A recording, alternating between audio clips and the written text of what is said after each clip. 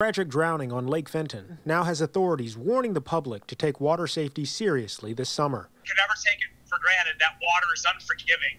Genesee County Sheriff Chris Swanson says a 73 year old Fenton man named Max Lutz died yesterday after he jumped into the lake using a pool noodle that got away from him.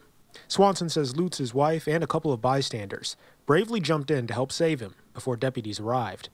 But after getting him onto a pedestrian's boat, authorities could not revive him through life saving measures. This is our second fatality at Lake Fenton within less than a month.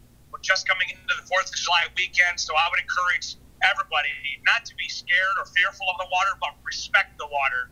And not just respect the water, but others on it as well, which is why Swanson is encouraging boaters and beachgoers to watch out for themselves and one another. We got to be very, very uh, certain that we are aware of our surroundings. And for other bystanders, watch what's happening around you. Watch for people crying for help or looking as though they may be in distress.